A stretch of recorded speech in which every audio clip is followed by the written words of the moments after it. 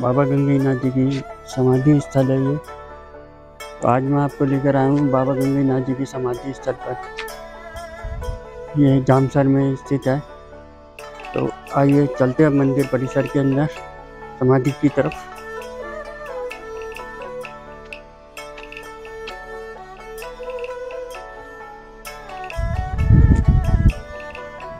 ये मंदिर परिसर के अंदर है। बाबा गंगीनाथ जी की समाधि की तरफ़ चल रहे हैं।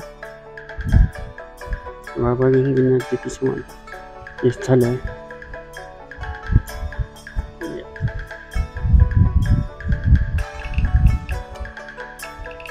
बहुत ही शांति वाला स्थान है यहाँ पे यहाँ पे बाबा जी ने ये बाबा की तपो, तपोभूमि है। यहाँ पर बाबा ने तप किया था यहाँ बहुत ही दिव्य स्थान है, अनुभूति देने वाला स्थान है। ये यहाँ से ये रास्ता अंदर समाधि की तरफ़ जाता है। ये बहुत ही दिव्य अनुभूति प्रदान करता है यहाँ पे ये समाधि वाला स्थान। यहाँ पे बाबा से जिसने जो मांगा है, वो बाबा ने उसको दिया है। तो आइए चलते हैं बाबा की समाधि की तरफ़ और करते हैं बाबा के दिव्य समाधि के दर्शन। तो चलते हैं अंदर की तरफ़, समाधि की तरफ़। बोलो, जय बाबा गंगाई नाथ जी महाराज की जय। कर लो दर्शन बाबा गंगाई नाथ जी की समाधि की। बाबा गंगाई नाथ जी गुरु गोरखनाथ जी के ग्यारहवें पंथ से थे। दस पंथ में भगवान शिव की आराधना की जाती थी और ग्यारहवें पंथ में माता की आराधना।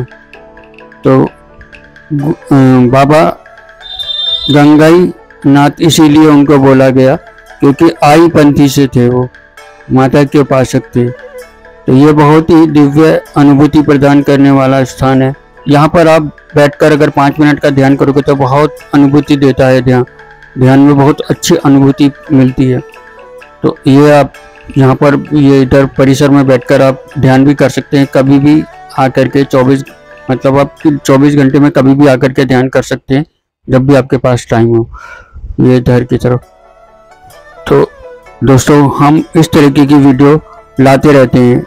अगर मेरे चैनल को, पर कोई नया है तो चैनल को सब्सक्राइब और वीडियो को, अगर वीडियो अच्छी लगे तो वीडियो को लाइक, शेयर और कमेंट करके बताना कि वीडियो कैसी लगी।